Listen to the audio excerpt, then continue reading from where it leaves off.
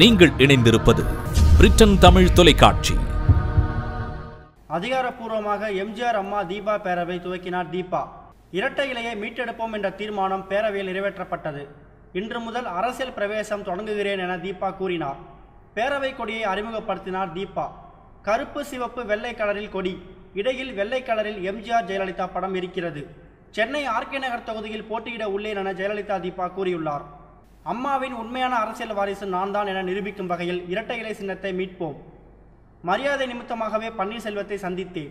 எம்ஜிஆர் அம்மா தீபா பேரவை ஒரு அமைப்பே தவிர கட்சி கிடையாது. எம்ஜிஆர் ஜெயலலிதா வழியில் அரசியல் பணியை தொடங்குவேன். ஓபிஎஸ் மீதான வீண் பழி சுமத்தியது சசிகலா தரப்புதான் காரணம். இந்த அமைப்பின் பொதுச் செயலாளர் நான் தான் ஜெயலலிதாவின் அரசியல் வாரிசாக பணியை செய்வேன். நிலையான ஆட்சி ஒளிமயமான எதிர்காலத்தை உருவாக்குவோம். துரோக கும்பலை விரட்டி அடிப்போம்.